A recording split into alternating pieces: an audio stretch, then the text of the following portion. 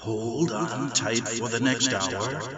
You're entering into a place, a zone called the alternative to the alternative media.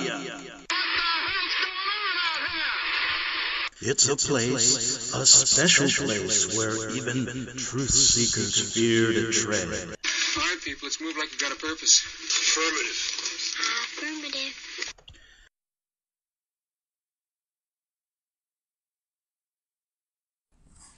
Okay, folks, back for a Monday edition of the Investigative Journal. Greg Anthony here as always. And, you know, I want to start out talking about a little baseball, Major League Baseball. And I know that doesn't really coincide with the subject matter here, but I always said the Jesuit Vatican New World Order will never end the world when the World Series is on the horizon or the Super Bowl.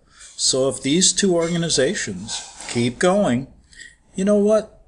We may be here for thousands and thousands of more years. So, all of you people out there who are preaching this doom and gloom about the end of the world, please, every generation I've ever studied, going back to zero time, says they're the last generation that are going to exist in the world, and it just seems to go on and on and on, doesn't it?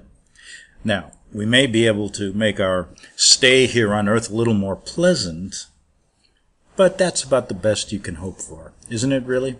Well, anyway, a little baseball. Baseball history was made this year because there were two ties in the three divisions, out of the three divisions in the National League. Ties to see who's going to get first place in that division. That's never happened before in baseball. Whether you're a baseball fan or not, and if you're not a baseball fan, just turn the show off. And I'm telling you something, you're missing out on one of the great is pastimes in the world. Go to the ball game, buy a hot dog, drink a couple beers, and it'll only cost you about $350 now. When I was a kid, I remember one summer I went to Wrigley Field, the friendly confines in Chicago. I went to, I think, about 30 home games, and they used to cost 75 cents to get in. Yes, and I was too young to drink beer, but boy, I remember having a nice bottle of 7 Up for about a dime. Those days are over over. Go to Dodger Stadium with your family of four. You better take uh, your checkbook with you. And uh, I always go to Dodger Stadium and say, Can I uh, pay on the payment plan? It'll cost you a lot of money. But anyway, baseball is a beautiful sport. And uh, I tend to watch it now just on TV and in the comfort of my own living room. It's a lot cheaper, and even though these cable TV stations are a ripoff, uh, it's a little better. But anyway, so we have a real historic thing going on right now. In the American League, which is the um, which is the grandfather of all leagues, uh, the American League, that's all set. So there's going to be a wild card playoff for the top the uh, the two teams that didn't win their division that had the best record. And they will then square off. The winner of that will square off with the best team, the record of the best team in the American League. That's the Boston Red Sox. And then the Yanks will take on the um, the winner of the other division, and then it goes from the division to the National League or the American League uh, championship game to the World Series. But now we're mired in a problem here in the National League. Two of the three divisions ended up in a tie. In the Central, the Cubs, who blew it this year. I mean, I've never seen uh, my Cubbies have won it two years in a row, but this year their bats were anemic. Let me tell you something. I've never seen a team uh, go hot and cold so much. If they could have just scored three or four runs in a game about four or five times, ten times, they'd have won this division going away. But they changed their hitting coach, and I believe he won't be there next year because somebody's got to take the fall, even though it's the players swinging the bats. And the poor manager, he had no choice. I mean, what is he going to do? If you don't hit the ball, you don't score runs, you're not going to win, even though the pitching was great. And they had to play the Brewers, who caught them on the last day of the season in a playoff today. Now, guess what happened? The Cubs lost. Three to one. Again, their bats were cold. Three hits. And the Brewers go on to win the National League Central Division. They get a few days off. They wait for the winner of the Dodger Rockies series in the West, who ended up in a tie, both with a 91 and 71 record. You're surprised how much I know about baseball, huh? I know more about baseball than I do the Jesuits. But anyway, uh, 91-71. They're now in the, I believe, the bottom of the third, 0-0. And the loser will go to Chicago because the Cubs had a better record than the Rockies or the Dodgers. And they will square off to see who is the wild card team that gets a chance to play the Milwaukee Brewers, who had the best record in the National League. And boy, the Cubs are chomping at the bit. But they have to get by the loser of the Dodger Rocky game today. Now, the winner, of course, goes uh, right to the National League, uh, wins their division, and waits for the. I believe they had the best record. I'm not sure. Maybe uh, the other division team. Well, whatever. They're waiting for. Uh, they will play on Thursday. Okay, so there you have it. Uh, you got great baseball coming up. Of course, that's going to take a few weeks. Then you got the World Series, and so we got at least a month or two before the uh, world comes to an end. Yep, the Jesuits will not blow the world up during the World Series. Let me bet on that. And the reason is they're baseball fans, I find out. Yes, they go to a lot of games, and they all have front row seats when they go. That's really weird. I wonder if they pay these people off just like they'd pay off politicians. Probably. And they, they're just a lowly priest. They don't have any money. How can they afford $1,000 box seats? That's, that's weird. So, we don't have to worry about that. And then I hear that the other side of the Jesuits are football fans. So they'll be following uh, the football schedule all the way up till when? Uh, Super Bowl Sunday in February, 1st of February. So the world won't end till then. But that's the time you got to worry. Between February, when the Super Bowl is over, and when the baseball season starts in April. So if you're worried about the world coming to end or bombs blowing up, it's going to be between February or April. And then there'll be a hiatus in both leagues, and just like they did in World War II. And uh, we'll have to wait and see if America exists after that. If not, they, they make a World Baseball Association. Can't they? If there's going to be a one world order, a one world government, there's got to be a one world baseball league. And what what's the difference? I mean, if you look at the baseball teams here now, most of the you know there's more foreign players than American players. We got people from China, we got people from North Korea, we got people from South no South Korea, not North Korea yet, because Chim uh, that that dictator won't let them play baseball there. No, because they don't have lights in Korea, and so they can't play baseball, and they don't allow the people there to have grass. So they don't play baseball in North Korea, but the South Korea has some has a couple uh, major leaguers. China, of course, Japan might as well be the Japanese league, and then of course you've got uh, South America and Central America. Man, you got more. Uh, I can name every baseball team, and I'd say half the roster is Hispanics, and that's good. They're great ball players. And another thing they do well are they're good jockeys. If you ever go to the racetrack, you're going to find a lot of Hispanic jockeys because they're smaller and jockeys can't be more than 110 pounds, right? They got a lot of Hispanic jockeys, got a lot of Hispanic baseball players. They haven't yet uh, really saturated football. Uh, but anyway, uh, there there's a few there as well. So don't worry. Once the world is over, as we know it, it'll be the One World Baseball Association, and uh, where will they be playing? Boy, there's going to be a lot of traveling. No, they're going to have like the China League, then they'll have the Japan League. They'll, they'll segment it off into four quadrants North American Baseball League, then there'll be the Asian, and then they'll play for the World Championship. Well, we call it the World Series now. What is that? How can it be the World Series if it's only the American teams that play? Are we being a bit presumptuous? That we're the world here? Sounds funny. World Series. Okay? Super Bowl. I mean, what's so super about the Super Bowl? You know? I don't think there's anything super about it.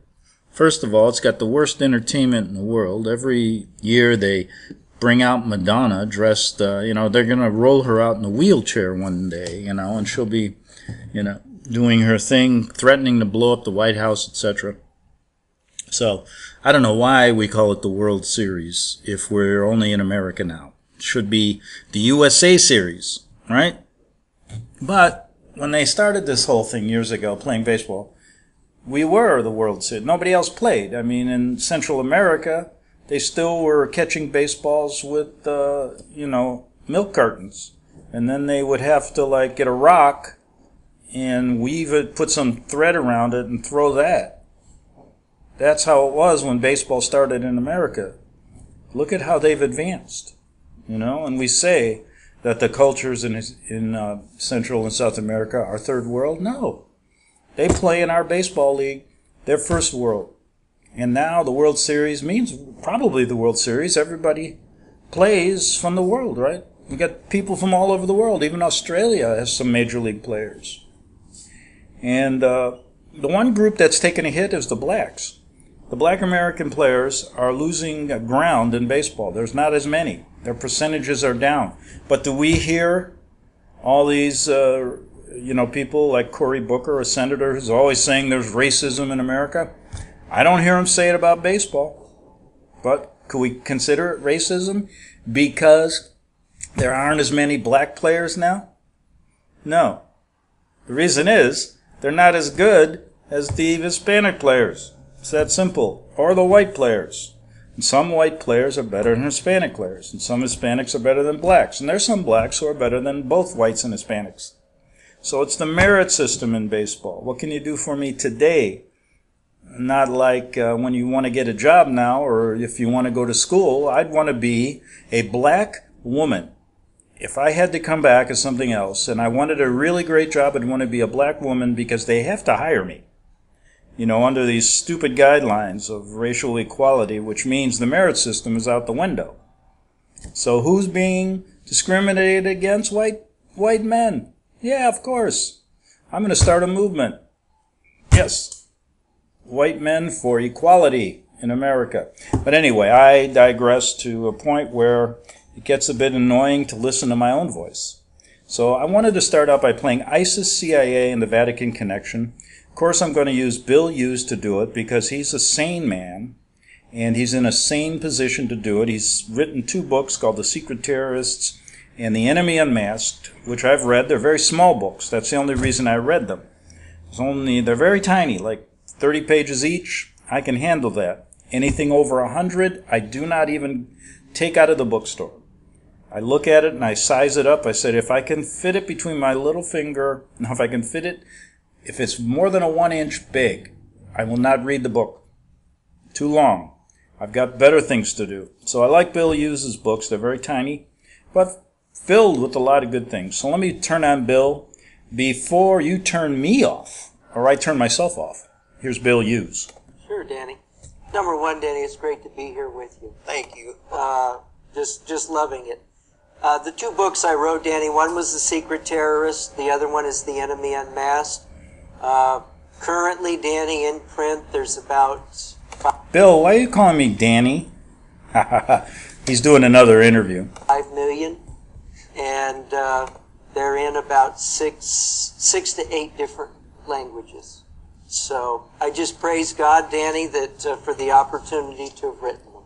You know, Bill, we do have something in common because as I read your books, I see that there's an enemy that you're unmasking in there. And I've written a couple books as well. Uh, many of you out there may be familiar with the books that I've penned. And the first is The Virgin Mary Dead or Alive. It's The Virgin Mary Dead or Alive. This book is about three million that have been printed in seven different languages, even Arabic. Awesome. And so they've gone all over the world as well. And the second one that I wrote is called The Final Inquisition. If you look closely at the cover of this book, it's unmasking an enemy that I believe is working through a religious guise. And we're going to get more to this as we have this discussion today. But Bill, we've come together here today because there's great problems in the United States of America and France. We've seen ISIS, radical Islam, you know, radical Muslims that are murdering, killing, beheading people. Uh, this is brutal assassinations like we've never seen before. Uh, my family's alarmed. You know, people are worried that if you can't even go to a Christmas party without the fear of 14 people being murdered and assassinated right here in our state in California, in San Bernardino. You know, Bill, I want to talk about this. I mean, terror's here in America now, and, and I think this video needs to be made. People need to know the truth. Well, Danny, let me tell you, the um, there's there's so much talk about terror, and of course, because of what happened in San Bernardino, everybody's just on edge. But Danny, what what I know you and I want to look at today is is that there's this is all a smokescreen. This is a front, and the world is uniting together, Danny, to oppose what appears to be a common enemy. Good point. Let's have a prayer and let's read a scripture in the Bible before we begin. Father in heaven, I just ask for the outpouring of your Holy Spirit upon Bill and me. Um, Lord, we need your power. We need your strength. We want to glorify you in this video here.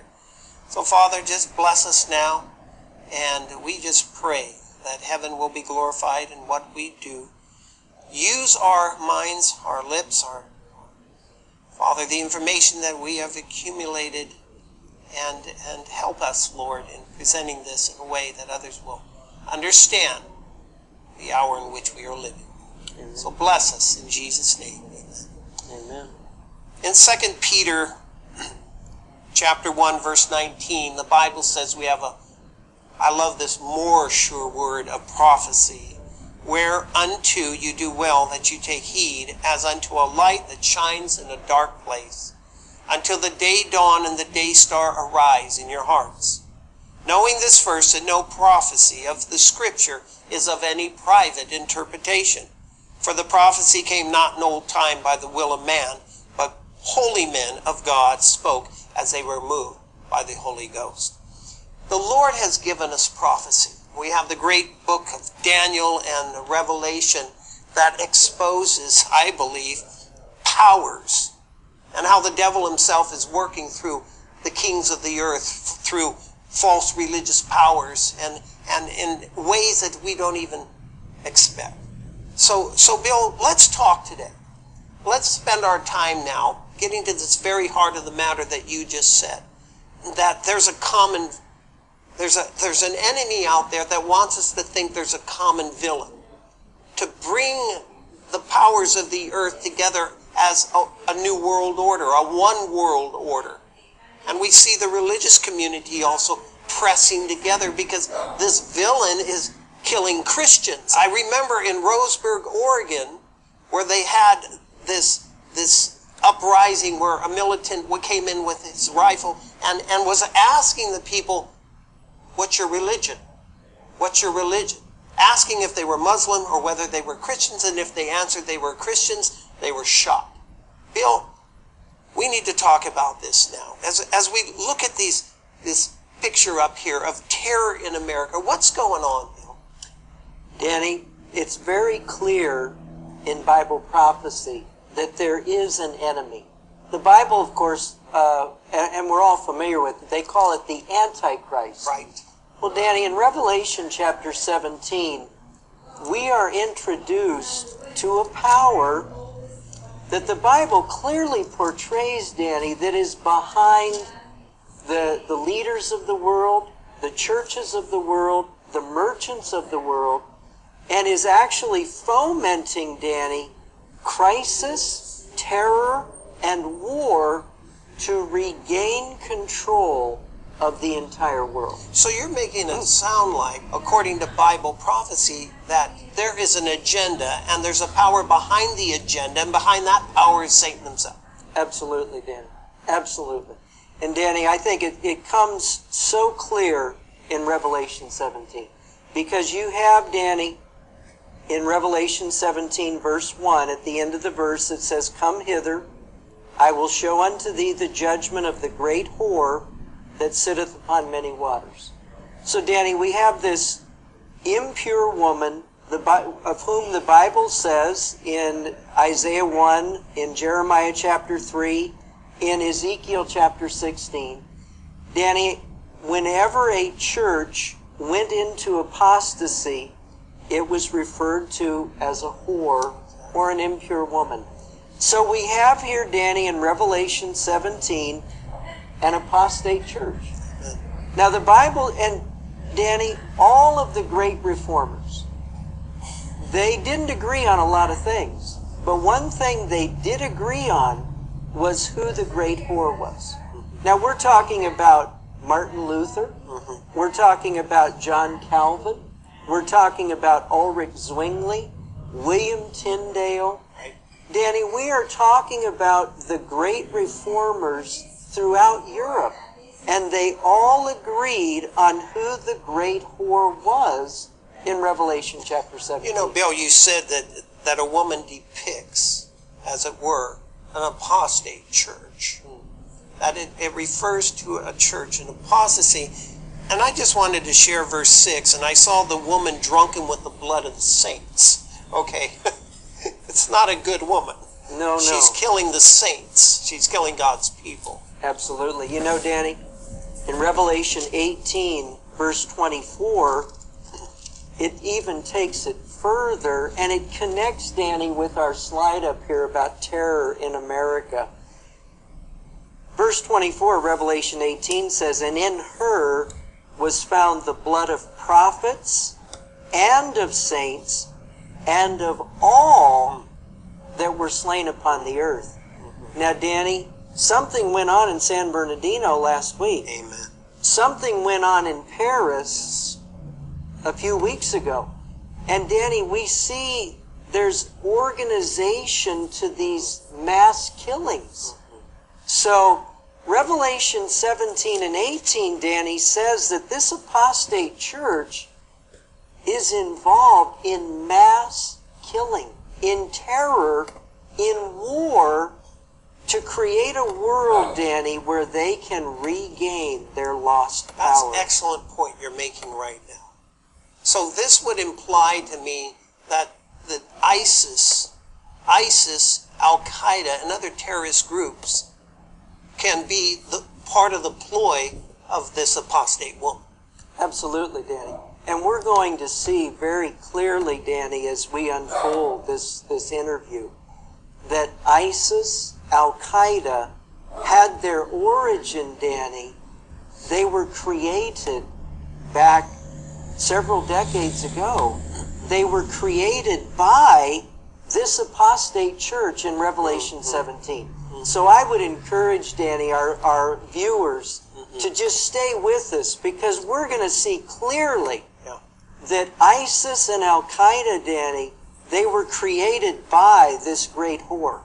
Let's do it. Okay. Okay, we're going to do that in the uh, second half hour here.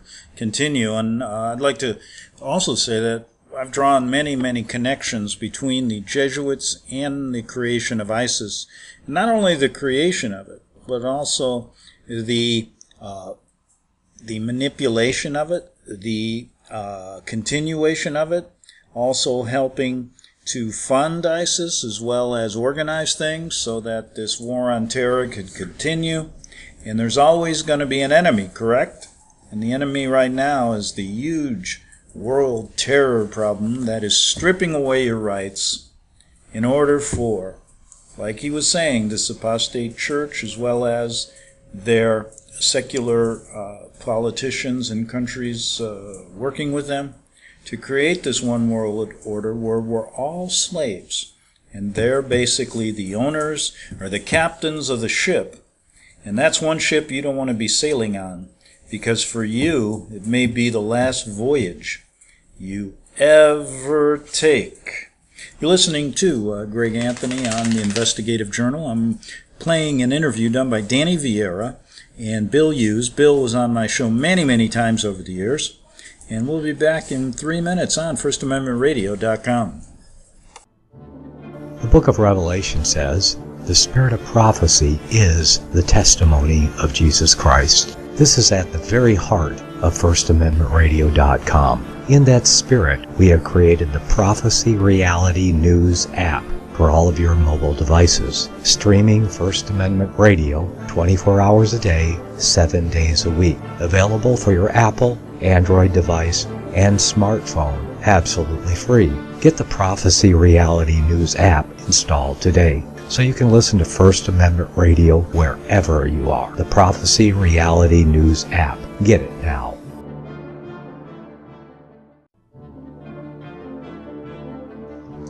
Visit crosstheborder.org, C R O S S, crosstheborder.org, to get your print, EPUB, or PDF version of Nicklas Arthur's new book titled When the Third Temple is Built. That's crosstheborder.org. When it comes to prophecy today, much of the evangelical Christian world has their eyes on Israel, waiting and watching to see when the third temple will begin to be built. The plans are drawn, the Jewish people are eager. Most evangelical Christians today believe that the rapture will happen before the third temple is built. Hi, I'm Michael Eugene. I was taught that Daniel's 70th week was in the future. Is that really what the Bible teaches? Have we searched the scriptures and found this to be true? Why is it so important for a re-established Israel to build a third temple in Jerusalem? Is it necessary to build a temple on the same location already occupied by the Dome of the Rock? Is it necessary for sacrifices to take place in the temple on Temple Mount? Is there really a rapture followed by seven years of tribulation? What is the New Testament temple? Can we identify history and prophecy? Who is the first beast in Revelation chapter 13? Who are the seven kings in Revelation 17? I have asked all these questions, and I have found Nicklas Arthur's new book, When the Third Temple is Built, answers all these questions and more using Scripture to interpret Scripture. The Bible says that no prophecy of Scripture is of any private interpretation. Nicklas shows us in his new book, When the Third Temple is Built, how the Bible interprets prophecy and not man's private interpretation. Visit crosstheborder.org, C R O S S, crosstheborder.org to get your print, EPUB, or PDF version of Nicklas Arthur's new book titled When the Third Temple is Built. That's crosstheborder.org. The following program is labeled dangerous and off limits by the supreme Jesuit command. But stand tall, people. Listen up, and you may just learn something. Oh, dear Lord Jesus, this ain't happening, man. This can't be happening, man. This isn't happening. Okay, back, boys and girls, for the second half hour. I can't wait to get back to ISIS, the CIA, and the Vatican connection, and to see exactly what Bill has to say. I don't know about you. I could talk all afternoon, as you know, but I know that you want to listen to this. So let me make way for Bill Hughes. Bill, let's let let's do it. Let's go. Revelation 17, Danny, verse 2, it says that this apostate church is connected to the kings of the earth. And the kings of the earth, Danny, as we see on the slide, we're talking about the movers and shakers in political affairs in our world. You've got on our slide, you've got John Boehner there, the Speaker of the House. You've got Joseph Biden, the Vice President of the United States, listening with intensity their boss. This is an open session of Congress, and the first time the Pope of Rome has ever addressed Congress in session. Correct? Absolutely. So this is unprecedented. Absolutely it was, Danny. And that, of course, took place a little over two months ago. Danny, the Bible says that the kings of the earth have committed fornication with this apostate church. Verse 18 of the same chapter, Danny, goes one step further. Revelation 17, 18 says, The woman which thou sawest is that great city which reigneth over the kings of the earth. So it's not just the United States we're seeing here, Bill, on these slides. Comment on this. What, what, what are you seeing here with these kings of the earth? These are world leaders. Absolutely, Danny. Danny, Revelation 17, 18, in light of what Peter said in our opening uh, verse, we have a sure word of prophecy that shines as a light in a dark place. So, Danny, it's only through Bible prophecy that we can get an accurate view of world events. Because, Danny, world events would tell us that the movers and shakers are the presidents and leaders of our world. But Revelation 17 rips the mask off, Danny, and says, no, the rulers of the world are being controlled and told what to do by That's a this apostate that's a church. very repeat that. That's a very important point. Danny, the leaders of our world are told what to do by this apostate church. Now, can you prove that today? There is so so much proof that all the leaders of the world do the bidding of this apostate church. You know, if we look at a few slides here, we see Pope Francis. Uh, sometimes I refer to him as the Sister Teresa of the papacy. This man who appears very kind and washing the feet of people, you know, as he's out there in the crowds and moving throughout the earth, taking his time to hold the little babies in his arm, showing how benevolent he is, taking the name from Francis of Assisi. He's chumming up, you know, with these world leaders here and, and even with religious people. Absolutely, Danny. Absolutely. Danny, the fact the fact of the matter is and, and of course the apostate church that we're looking at it here in Revelation 17, of whom all the reformers agree, is the Roman Catholic Church. And all the reformers declared that truth. Tragically, Danny, Protestants today, apostate Protestants, evangelicals, in fact, every religious group, Danny, every church in the world today refuses to declare who Babylon the Great is in Revelation 17. It's like the reformers had it right, but today it's like people are oblivious that that was even history. They, they, they, they're, they're offended when you speak this way to tie the Pope of Rome at all to the Antichrist. Well, Danny, it's fascinating. You know, in fact, I was reading that in your book just this afternoon. Danny, you had two Jesuit priests who came along toward the end of the 16th century. And Danny, Rome was desperate to get the attention of the religious world off of them as the Antichrist power. So along came two Jesuit priests who, in fact, the Jesuit order, Danny, itself was raised up to destroy the Protestant Reformation and to reestablish the power of the papacy. So, Danny, these two Jesuit priests come along, um, Alcazar and Ribera, and they point all churches in two opposite directions. Yes.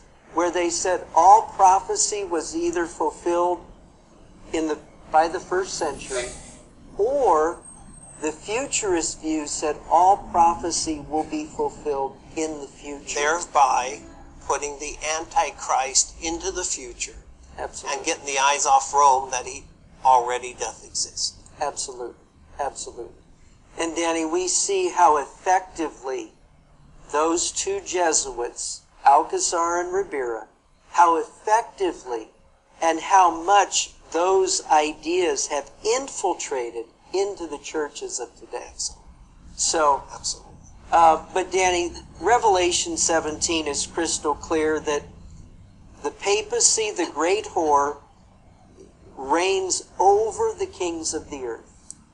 As we saw in the slides, they control Barack Obama. He's a king of the earth, Danny. He's probably the most powerful king on the earth. The Bible says that the papacy tells Barack Obama what to do. In fact, Danny, in your book, The Final Inquisition, notice this uh, a very unknown fact about the administration of Barack Obama. On page 72 of your book, you say, Yes, President Barack Obama is absolutely right. Change is coming, especially when we consider that many of his appointees are Jesuit trained. Mm-hmm. For example, his chief speechwriter, Jon Favreau, Jesuit trained. His senior military and foreign policy advisor, J. Scott Gration, Jesuit trained. His deputy communications director, Dan Pfeiffer, Jesuit trained. His Chicago mentor, Gregory Galluzzo, a former Jesuit priest, Jesuit trained. Danny, Leon Panetta, the original man who ran the CIA that we're going to look at here momentarily, Jesuit trained. So, Danny, we see just with the current president the incredible influence that is brought to bear on this king of the earth, as Revelation 17 clearly outlines. The language that the Bible uses too, that they have committed fornication, and the inhabitants of the earth have been made drunk with the wine of her fornication. This is an illicit relationship between religious a religious leader and world leaders.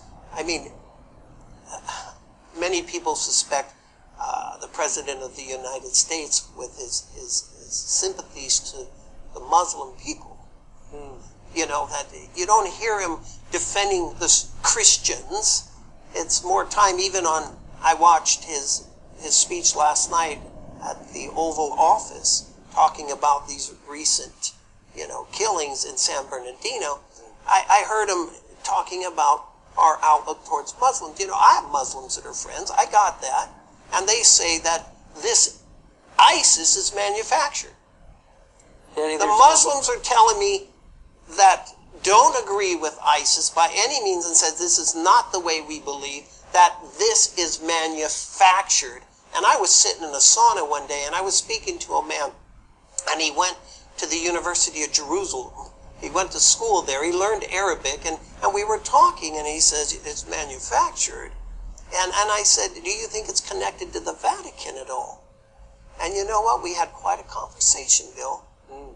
We had a quite a conversation, and I want you to continue because I am anxious to hear what you have to say in regards to CIA, ISIS, and the Vatican. And is there a link between these three? Danny, we'll definitely get there. Uh, we'll definitely show the connection between ISIS, the CIA, and the papacy. Yes. No doubt about it. But you know, Danny, Revelation 17 and 18 brings out very clearly that not only does the papacy control the kings of the earth, but Revelation 17:5 Danny says that Babylon the great this woman has on her forehead that name and she's the mother of harlots and abominations of the earth. So Danny if Rome is the great whore mm-hmm. then the churches that are following in her footsteps today are her harlot daughters. Right. And I know who you're referring to apostate Protestantism. Absolutely. Is there any indication that apostate Protestantism is joining once again with the Roman power? And and one of the things that I want to bring to light here is that Joel Osteen, you know, this year he met with Pope, or this 2014, correct? Yes. He met with the Pope Francis at the Vatican, and it always amazed me because here's this Protestant evangelical, you know, well known on America and packs 50,000 people a week into his stadium for his worship service. Right. Travels to Rome and meets with the man of sin who has a hundred thousand people in St. Peter's Basilica and they sit there and they begin to talk how they can converge and work as one. Absolutely, Danny. You know, Danny, we've seen Joel Osteen do it. Of course, we had the episode with Kenneth Copeland and Tony Palmer. So, yes. Danny, we, we see the Pentecostal, the evangelical, the apostate Protestant churches of today, they are uniting together with Rome with an agenda, Danny, yes. to usher in a one world church, one world religion that will bring all the world into corrupt religious unity with the Vatican. And so God has a people on this earth that he has given a message, I always say in Revelation 14 to meet the crisis in Revelation 13, where all the world's wondering after the beast. God has his people in position that are to sound the most solemn message ever entrusted to mortal man, and that's the three angels' messages of Amen. Revelation 14, to expose this power. What we are doing today is in line with the Bible. Absolutely. Absolutely. We are to unmask this power. So as we look at this terror that's coming here in America now, I want to move on now because this hour is going to go fast, but I want you to talk about this. This is amazing. CIA contractor, we fabricated ISIS. This is a completely fabricated enemy. The funding is completely from the United States and its allies. And for people to think that this enemy is something that needs to be attacked in Syria or Iraq is a farce because obviously this is something that we created. A contractor, Stephen Kelly, and then below it, it says suspicions run deep in Iraq that CIA and ISIS are united. The New York Times, September 20th, 2014. And here's the article. yes. Yes. It's not, it's conspiracy theorists. You know, I, I always laugh at that, and so do you. It, Revelation chapter 13, Revelation 17, the Bible's filled with exposing and addressing the fact that there is a conspiracy. Absolutely, Danny. You know, Danny, Webster's dictionary says that a conspiracy is two or more people or groups united together with a sinister purpose. Now, Danny, we've looked in Revelation 17. We've got the great whore, the papal power. We have the kings of the earth. Danny, that's a conspiracy right, Right there. there. Revelation 17:5, you've got the mother of harlots. Yes. That's three powers now, Danny, in Revelation 17, united together for a sinister purpose. And then, of course, Revelation 18, verse 3 and, and verses 15 to 18 identifies a fourth entity, and those are the merchants of the earth, the great bankers, the great business people of the world. So, Danny, for somebody to say that conspiracy is a theory, Mm. Danny, they're dead wrong. Conspiracy is not a theory, friend, it's a fact. Yes. And Revelation 17 and 18 says so. Now, Danny, these, this article that you're showing from the New York Times, connecting the CIA and ISIS, Mm. Danny, I want to take it one step closer to home because, Danny, in, in our look at Revelation 17, we are saying to our viewers, we're not pointing to ISIS as the great enemy of mankind. We are saying that it's the papacy that is the great enemy of every person on this planet. Hmm. And Danny, we're also saying here today, and we're going to see that right now, that the CIA, number one, was a creation of the Vatican. And number two, hmm. That ISIS was a creation of the CIA. That's amazing. Now, Danny, let, let's go back. Let's go back. Number one, Danny, the CIA originated in the 1940s. The CIA originally was called the OSS, the Office of Strategic Services. It was started, Danny, by a man named Wild Bill Donovan. Donovan, Danny, was a knight of Malta. Now, Danny, a knight of Malta is somebody who has surrendered their life to the authority of the Pope, and they have said they will do whatever the Pope desires. Danny, Bill Donovan was such a man.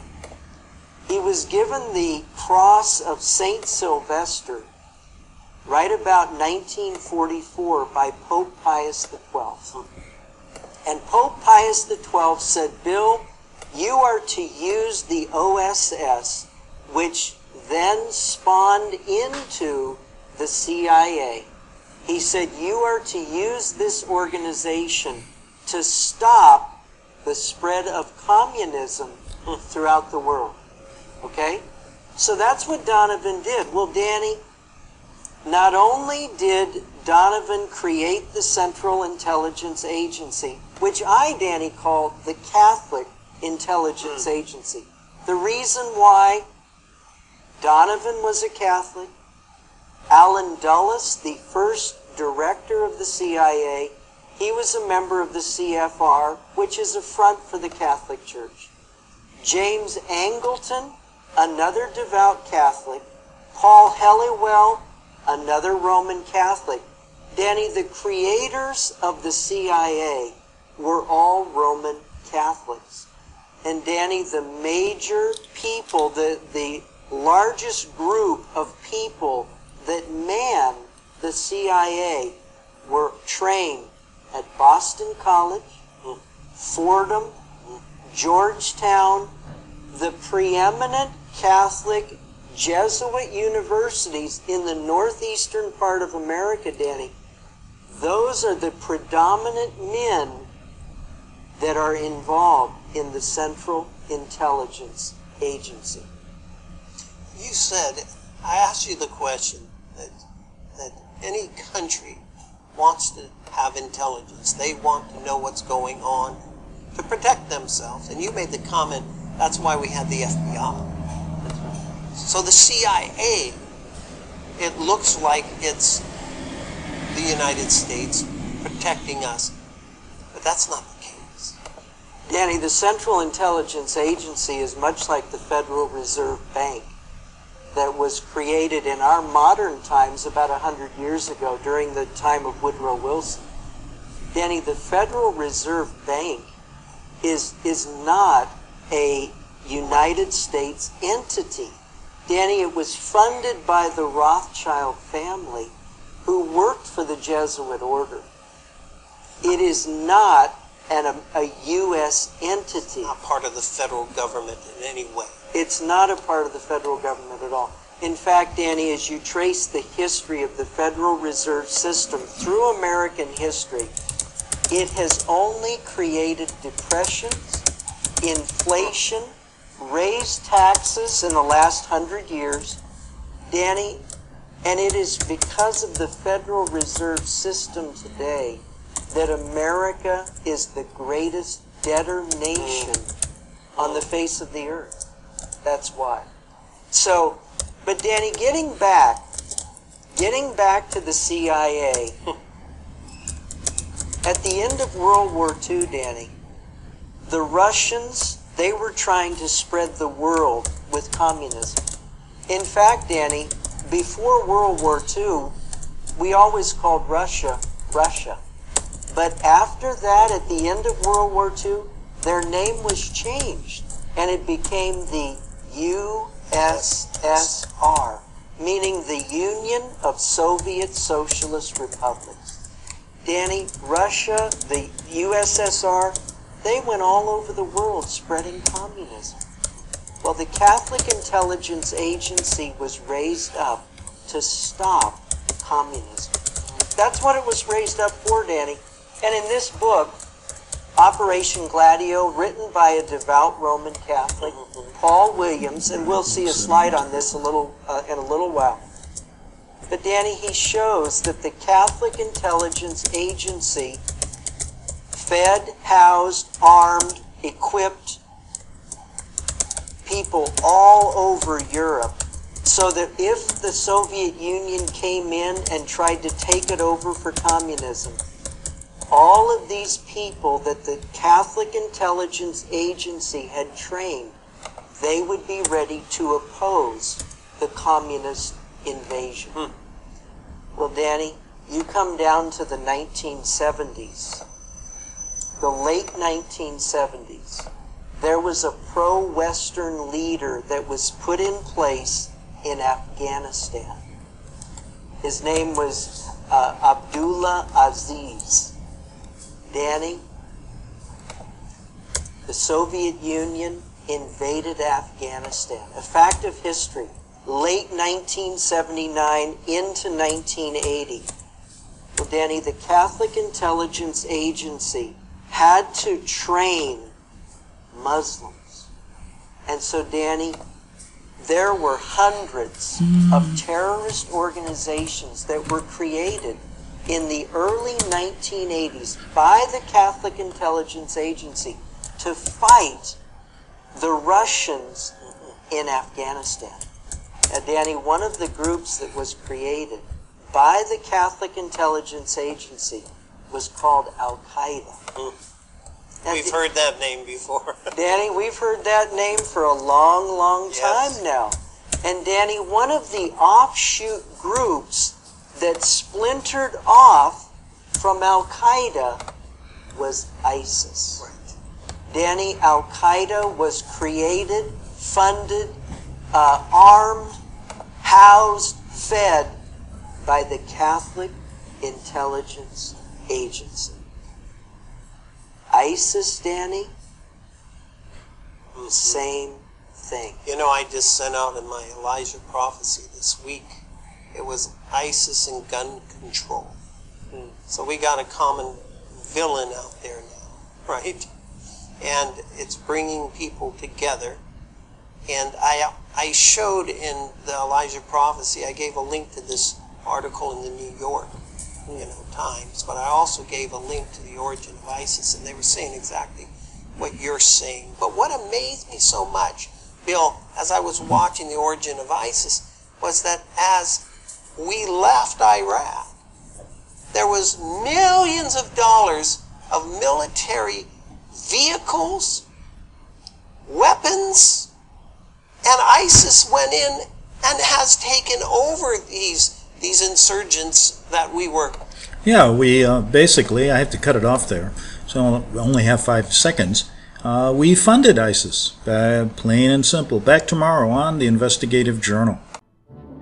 The book of Revelation says, The spirit of prophecy is the testimony of Jesus Christ. This is at the very heart of FirstAmendmentRadio.com. In that spirit, we have created the Prophecy Reality News app for all of your mobile devices, streaming First Amendment Radio 24 hours a day, 7 days a week. Available for your Apple, Android device, and smartphone absolutely free. Get the Prophecy Reality News app installed today so you can listen to First Amendment Radio wherever you are. The Prophecy Since the beginning of time, kings have sought it, nations have fought for it.